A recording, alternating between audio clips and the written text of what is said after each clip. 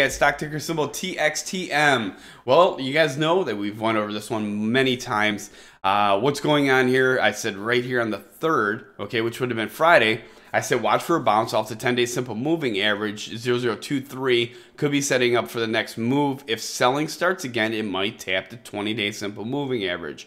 Well, you guys, eh, I mean, I, I told you if the selling starts again, people taking profits, whatever the case might be, uh, that buying interest just isn't there right now. So right now you're sitting at the 0021 area. This is going to have to hold. Uh, if it doesn't, I, that 20 day simple moving average could come. Okay, so let me go ahead and add this into this for you guys. And uh, we'll, we'll talk a little bit more about what's going on.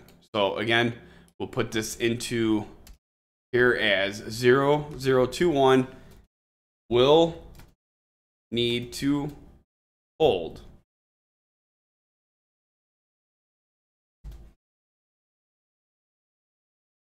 Get that level over here.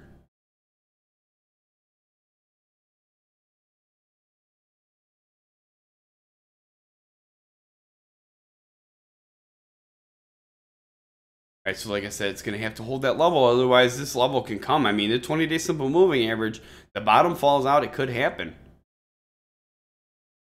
buying needs to pick up more, it could still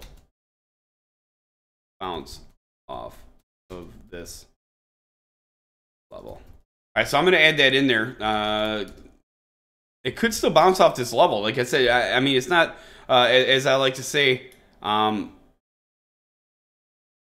I, I don't want to make it sound like all doom and gloom because that's not really what the case is right now. I mean, you got people uh, taking profit and stuff. So let me add this over here to my notes so I have it. all right. So watch uh, 0021 watch will need to hold. Otherwise, 20 day simple moving average 0015 buying needs to pick up more. It could still bounce off this level. But keep that in mind. It still could bounce off this level. It really comes down to that buying pressure.